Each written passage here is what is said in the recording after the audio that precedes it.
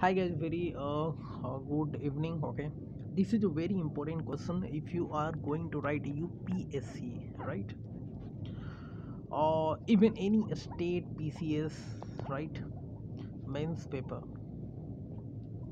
This is very important. So listen carefully. What is happening? This is central government right? And this is a state government what happened there are more important ministry there okay?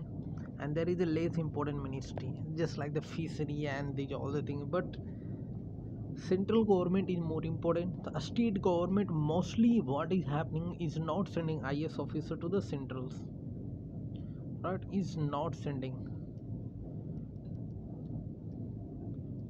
Many times they are not sending. So this is a very bad and there is a lack of officers okay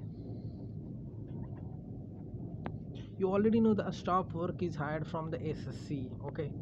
Uh, but for running a great officers are only hired from the upsc okay? So they need a but state government is not so what is the so obviously the rule 6 of the indian administrative service cadre rule should be amendment okay? What was the earlier rule?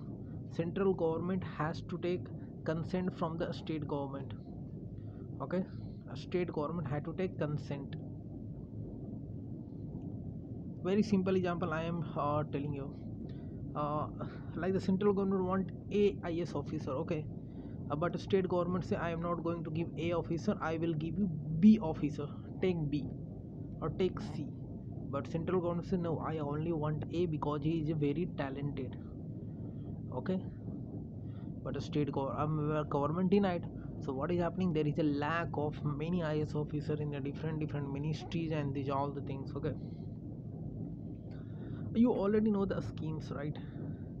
These all important schemes are drafted by the IAS officers. Authorizing is officer and many maybe from the sscs staffs and these all who is also in that right? So what do you think guys? And listen there is another thing. If you are going to write the mains paper i'm judiciary in india is unitary right? Got it? If you go to the 19 of when uh, india got independence uh, uh, take a republic okay? When india got republic many uh, state princely state wanted to get autonomous. They need autonomous okay? Autonomous means i want to tell you they need more power. So take example like the tn that was the madras presidency okay so the thing is that I, I am clearly telling you in india if you give indian state more autonomy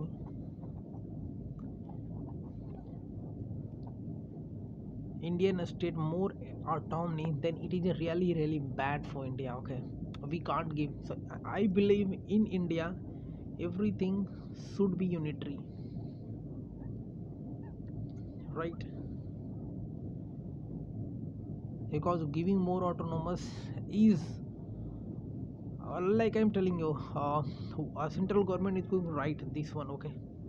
Because of more autonomy a state government will go this this broken line or they can go to downside. So it is better that there should be unitary right? I believe the central government uh, should not need consent from the state government and these rules should be amended right?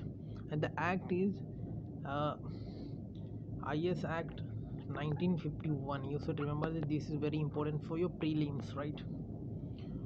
And earlier it name was ics and today subhash chandra bose uh, birth anniversary he even approached ics exam in the london right? Because that time it was held in london not in india right? Take care guys. Like share and subscribe okay uh, the class is also held at the evening time uh, 10 pm right? So you can free from all the work even you are, are uh, going to offices okay? Or going to any different coaching center right? If you are in delhi there is a lot of uh, engineer uh, sorry a coaching center. So you can do it no issues right? Great guys. Take care. I i also believe the earliest starter uh, always wins right